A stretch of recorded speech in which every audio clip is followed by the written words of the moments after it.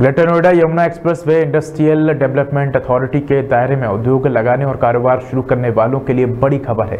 प्राधिकरण ने उद्यमियों की सुविधा के लिए सिंगल विंडो सिस्टम डेवलप करने का फैसला लिया है और इस व्यवस्था के तहत ज़रूरी लाइसेंस, अनापत्ति और अनुमति अनुमितियाँ के कार्यालय में ही मिलेंगे। प्राधिकरण के मुख्य कार्यपालन अधिकारी ने इन तमाम विभागों के डेस्क अथॉरिटी के दफ्तर में स्थापित करने का फैसला लिया है।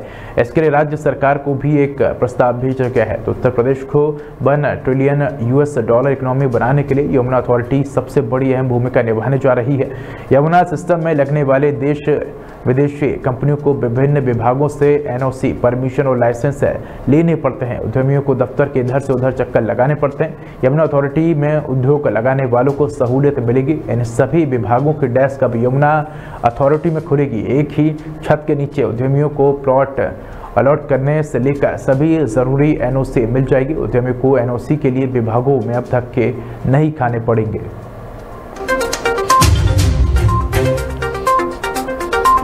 देखिए सिंगल विंडो सिस्टम के लिए ऑलरेडी उत्तर प्रदेश सरकार ने जो है वो स्मिथ पोर्टल बना रखा है, जिसमें बहुत सारी ऑनलाइन सेवाएँ उपलब्ध हैं पहले से।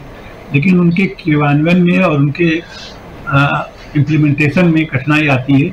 कई बार तो जो इंडस्ट्री है बताती है कि उसने सारे डॉक्यूमेंट जमा कर दिए हैं, जबकि सारे डॉक्यूमेंट जमा नहीं होते हैं। कई बार ऑब्जेक्शन जो आता है, वो ऑब्जेक्शन दूर करने के लिए पत्र जाता है और ऑब्जेक्शन नहीं दूर होता है।